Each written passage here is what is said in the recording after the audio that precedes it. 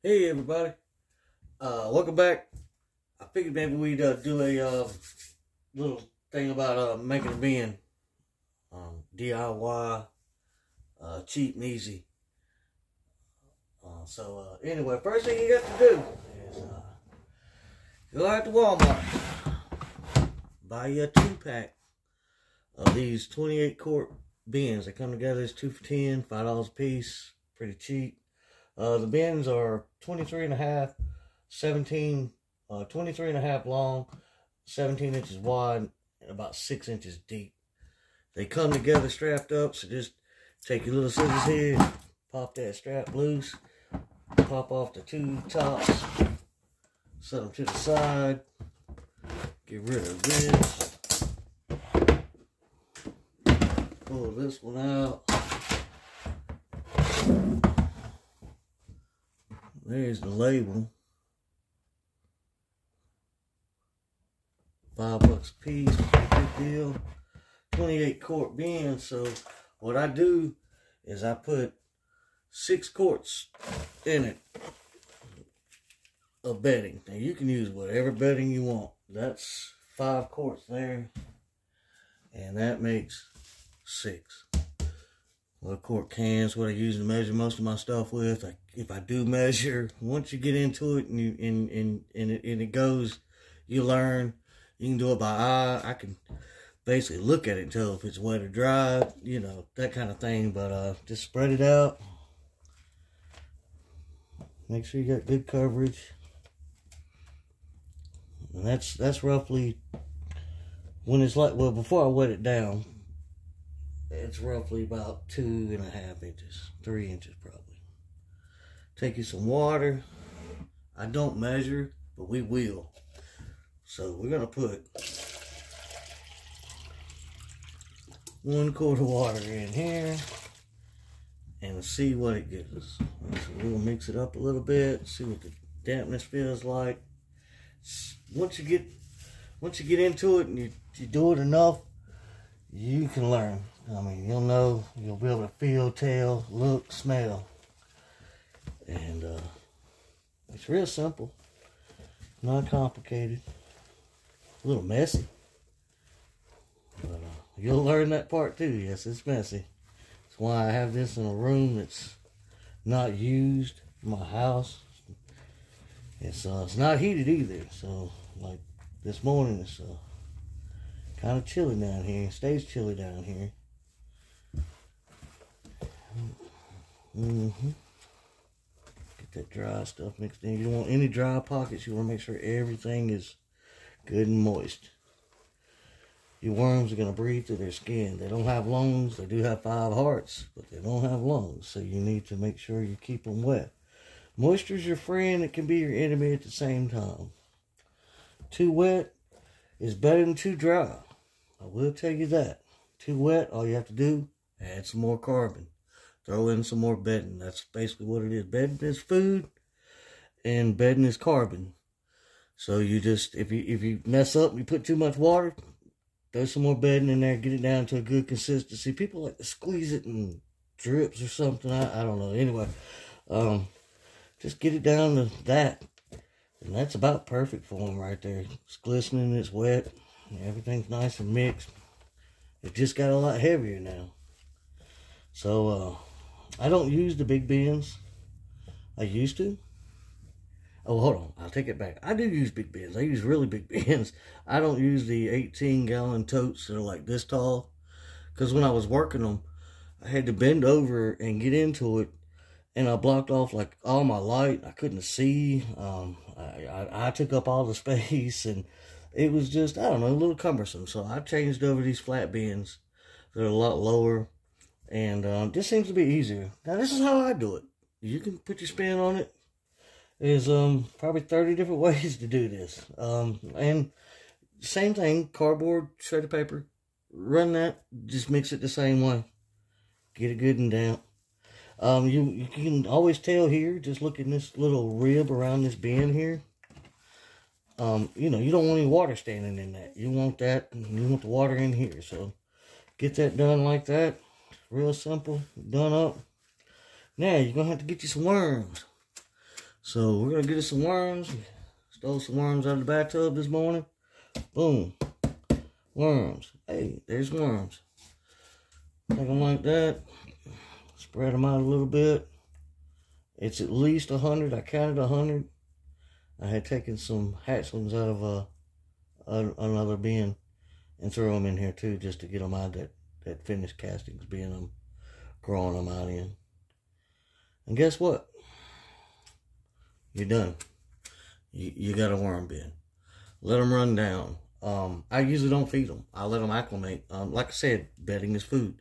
So let them let them run down. Let them get get acclimated, and then come back and feed them three days later.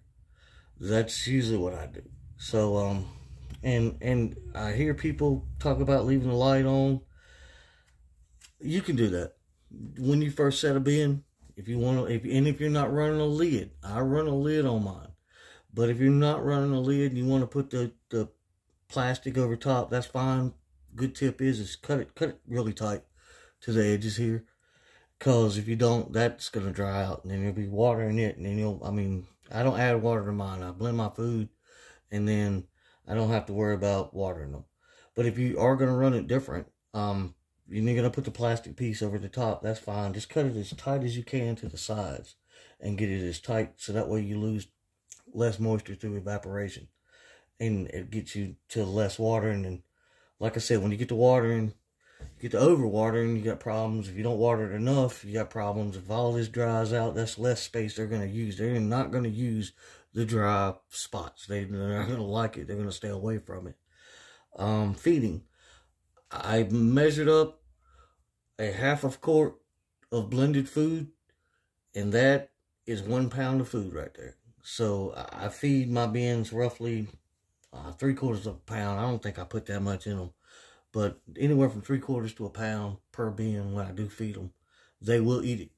They're they have a voracious appetite. So let them run down, let them get acclimated. Three days later, come back. I feed in the middle and put my food here. I do not mix food into bedding because you then if you do, um, like when you're making your when you're prepping your bedding don't don't put a bunch of chopped up food in in here and, and stuff. Basically you turn the thing into a big gigantic compost pile. If it heats up the whole thing will heat up. So when i feed down the middle i put my food in there. If it happens to heat up the worms have somewhere to go. They go from here to there and get away from it. Or if they don't like it or if it ain't ready they'll stay out here once that food gets ready and gets the bacteria built up on it and, and, and microbes are breaking it down and it gets right for them to eat, they come in and they start munching. And that's the easiest thing to do is just take it slow and easy. Um, check out a couple other channels, see how they do it. This is how I do it. Uh, this is how you can do it. I got 10 bucks. The stuff here come out of a compost pile, um, a leaf leaf pile. Um, a couple years old. I just dug down to the bottom, scooped it up, brought it home. Um, we put it in a couple trash cans, throw it in the back of the truck, bring it home. I have a place I can get it. If you know your neighbor that mows his yard and bags it, and he puts it out to the curb, be like, hey, buddy, instead of doing that, throw it over the fence and I'll take it. Take it to your house and throw it up in the corner somewhere and dump it out, pile it up, let it compost, break down. You can throw some food scraps in it too and that'll actually help it um, break down faster. But grass is like the perfect mix. It's the perfect mix of greens and browns together to compost, and grass clippings will compost and cook off and, and break down faster than anything I've seen. I've got a pile probably three foot tall, four foot long, five foot long out there in my yard on a concrete pad where I mow my yard. I just blow all the grass up on the pad and then I let it break down. Um, other than that, I mean, it's not really complicated. This is cheap and easy. We're five bucks into this bin. Uh, the bedding was free. I didn't go out and buy it. I didn't order blocks of anything and soak it. And I didn't spend a bunch of time shredding and doing cardboard and uh, newspaper. I don't like newspaper and, and, and bill paper because it seems to get real squishy and squishy and sticky and it'll clump up. Now you could do half and half. If you had some of this, you could mix your paper and your cardboard in with it and then that way it would keep it from being less gooey. And so, um, But if you can get this, this is their natural environment. This is what they eat in the wild. So that's probably the best thing for them to have, I feel like. That's my opinion. I'm not a worm guru. Okay, I'm just a guy that's been doing it for a couple years. Um, four years, I think. So anyway, um, that that's that's the gist of it right there. Like I said, let them run down. You see how, how long it took? Didn't take long. Let them run down. Throw the lid on it. Sling it over on the shelf. Let them get to chilling and and relaxing. And then I come in. I, I pull back through here. Put about three quarters of a pound of blended food in. Cover it up. The reason why I blend the food, and I dig all the way down to the very bottom of the bin like that and put the I put a little bit of bedding, dry bedding, and I put the food in there. And you can feed on the side if you want to. I like to feed in the middle. That way it gives them an equal space around to be away, and then it brings them in. And when they come in, they'll bump into each other, and you'll start the mating process. And keeping them happy is one big part of making sure they'll mate. They're not going to mate up in a in a bad bin that's got um, pHs off or anything. Um, bedding's cured a lot of problems. Uh, mites, moisture, um, potworms, um, acidity, uh, your pH is off. Throw some bedding in there. Add some more bedding. Add, add a couple more quarts of bedding. Mix it in. Fluff it. Get the air. Get the bedding in there. Help absorb some of the moisture if you've gotten it way too wet. I run mine a little wet on the wet side, but I don't have standing water. But the bedding will fix a lot of your problems. Um, other than that, like I said, that's that's the gist of it there. Feed them. Um, keep a check on it. Don't overfeed them. Don't they, they don't have to eat. I could I could literally not feed this bin. I could do this in the worms and I could be done. I could let them run that. I just feed them vegetables and stuff like that to help with the castings, to make the castings better, um, make the worms healthier. It's a little, you know, everything in moderation though. I don't, I, they love bananas and apples, but I don't feed them bananas and apples all the time.